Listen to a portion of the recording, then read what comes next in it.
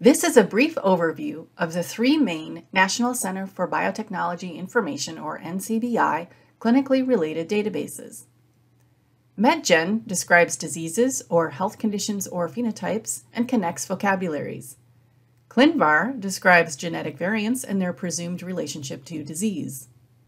And the Genetic Testing Registry, or GTR, is a catalog of genetic tests from testing laboratories. Think of MedGen as the place where we describe and pull together medical genetic concepts.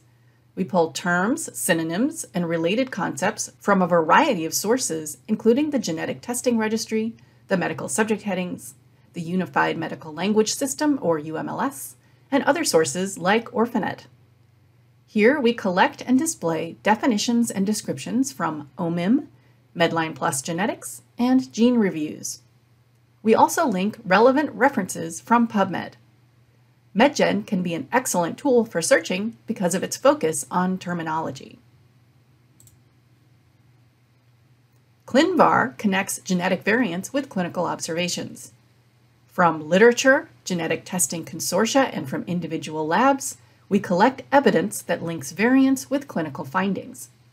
Researchers and clinicians submit an assertion that a variant is associated with a clinical finding and provide evidence for that assertion.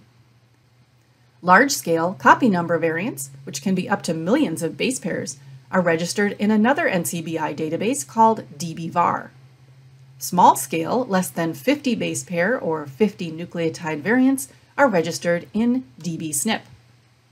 Those that are associated with clinical observations are included in ClinVar. The Genetic Testing Registry, or GTR, provides information on genetic tests available on the market. The information is submitted by the labs that offer the tests. The database is intended for clinicians to use to find relevant tests. You can learn here about offer tests, filter by purpose, method, certification, location, and other information, and find out how to order the test.